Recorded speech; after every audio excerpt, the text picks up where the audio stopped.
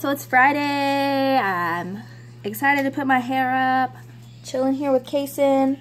My first video got cut in half because I got a phone call, but I'm going to tell you guys about how to set up parties. So I already kind of set one up because it was in the other video. So you go to my account, go to virtual office, and then you will see, sometimes on your phone you have to go to profile twice and log in that way. It looks a little bit different on your phone, but down here on the sidebar, go down to parties, my parties or create a party. I already created the party, so I'm gonna go to my parties. When you create the party, if you're doing a regular party, um, if you don't have the hostess's information yet, you can put in yours and then change it later. But it's easier if you have them create an account first through your website. So that way you're not having to type in their address and their email and all that. It's already in the system. So they'll be in your contact, they'll have their profile set up already. So they'll already have 250 perks just for setting up their account. And then it's easier. It has a drop down list of your contacts you can pick from or you can enter it manually. So you go to your party. This is the one I created. It says Spooky Posh. your parties can only last two weeks online. So see it says it closes in 14 days. It automatically will do 14 days out on the calendar. So it says October 14th to October 28th right now. And it'll be whatever time you start it. So if you're wanting it to end at midnight, then you need to like change the time or whatever. Always make it public and always keep it open because when people go to the page, if they go through your link, it'll have a drop down menu where they can put their order in under that party.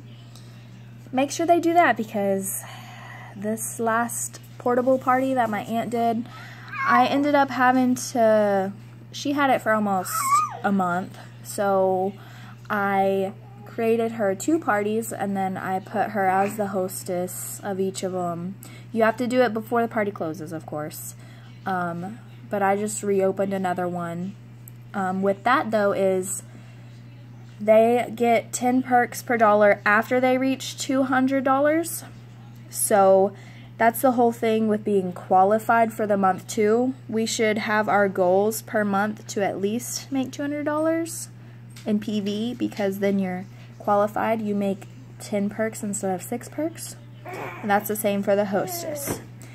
Also, if you are making a party the last week of the month, know that perks start over the PV starts over each month.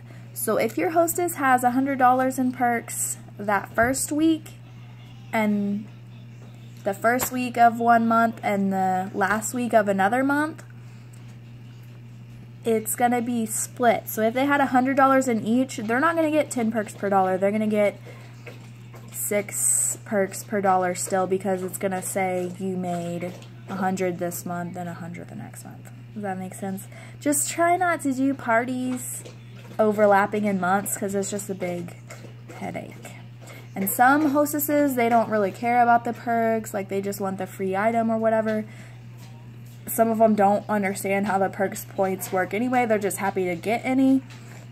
But some are like, I should have the X amount of perks points, and if you have to explain all that to them, it's just a headache, and then they'll be like, well, I need perks points.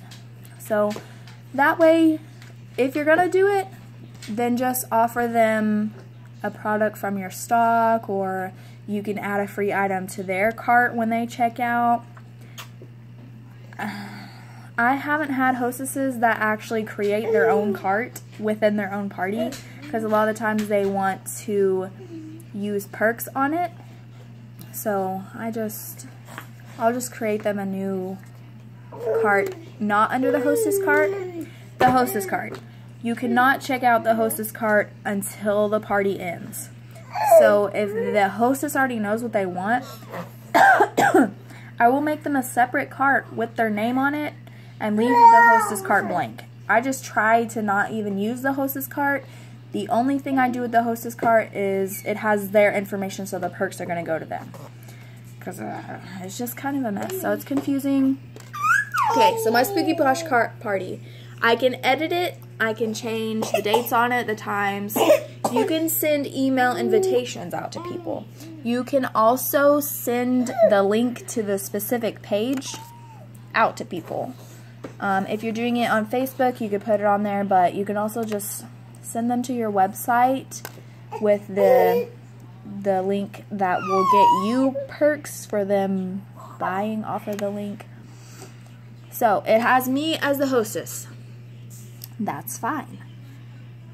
If I'm the hostess, I'm going to get the perks.